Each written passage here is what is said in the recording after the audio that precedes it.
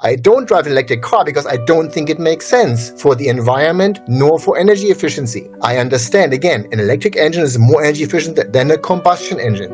But you have to get electricity to the electric engine, and that's the battery, and that's the problem. To produce a battery, you need to first invest 450 times the energy of the capacity of the battery. If you have a 1 megawatt hour battery, you first invest 450 megawatt hour of energy to build that battery.